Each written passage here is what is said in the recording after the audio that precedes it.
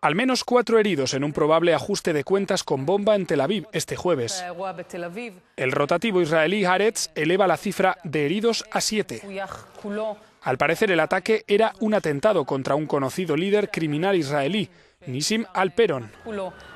Alperon ha sido objeto de otros siete ataques contra su vida en los últimos 12 años, el último de ellos en junio de 2012. Según las autoridades de la ciudad, un motorista se habría acercado al coche mientras circulaba y habría adosado una bomba. A pesar de que el coche ha quedado destrozado, Alperon ha salido ileso. El vehículo explotó cerca de un autobús que al parecer no llevaba pasajeros a bordo.